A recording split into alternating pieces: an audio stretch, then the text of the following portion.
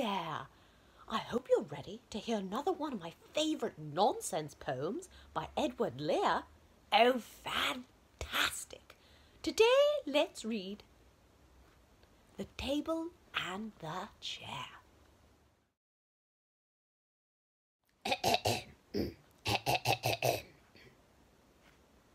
Said the table to the chair. You can hardly be aware how I suffer from the heat and from the chilblains on my feet. If we took a little walk, we might have a little talk. Pray let us take the air, said the table to the chair. Said the chair on to the table. Now, you know we are not able. How foolish you talk when you know we cannot walk, said the table with a sigh.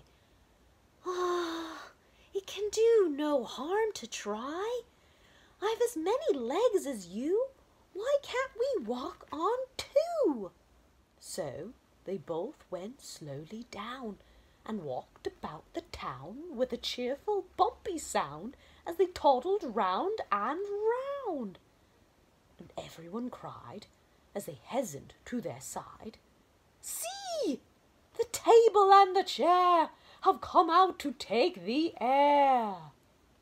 But in going down an alley to a castle in a valley, they completely lost their way and wandered all the day, till, to see them safely back, they paid a ducky quack and a beetle and a mouse, who took them to their house.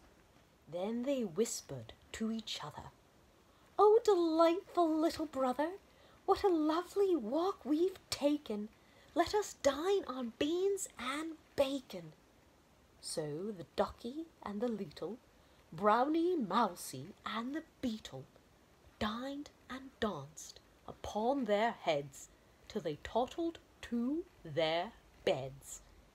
The end. Oh, I hope you enjoyed that poem. I particularly like the part when they danced on their heads. Oh, well, I hope to see you all very soon. Bye bye.